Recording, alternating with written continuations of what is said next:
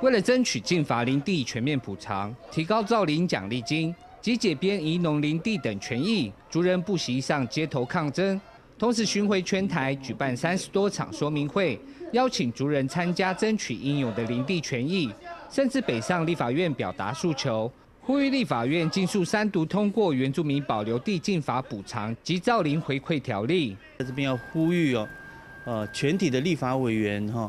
呃，能够为了原住民的生存权，也为了原住民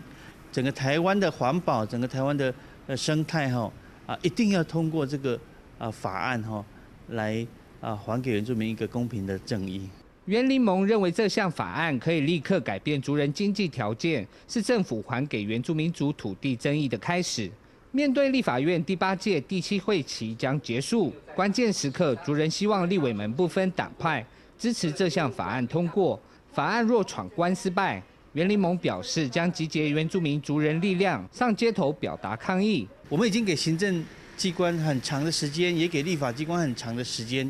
如果他们还是没有重视这个原住民急迫需要林地能够全面补偿的话，啊，我们不排除哈要走上街头哈，啊，走到行政院，走到总统府，去把这个声音哈，让原住民的，让这个整个台湾的大社会了解我们的痛楚，也了解我们原住民族的需要。袁林盟希望这个会期三读立法通过，终止二十一年来不平等进法补偿条例。返还原住民族应有的土地正义，只要法案没有三读通过，族人也做好走上街头抗议的准备。记者歌舍高雄市采访报道。